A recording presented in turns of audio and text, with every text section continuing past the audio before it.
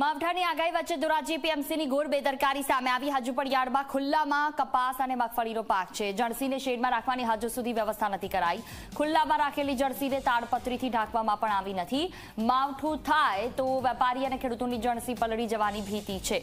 મહત્વનું છે કે હવામાન ખાતાએ ત્રણ દિવસ સુધી રાજ્યમાં અનેક વિસ્તારોમાં માવઠાની આગાહી કરી છે. માવઠાની આગાહી વચ્ચે ધોરાજી એપીએમસીની ઘોર બેદરકારી સામે આવી. હજુ પણ યાર્ડમાં કપાસ ખુલ્લામાં પડ્યો છે. જર્સીને શેડમાં રાખવાની હજુ સુધી કોઈ પણ પ્રકારની વ્યવસ્થા નથી કરાઈ.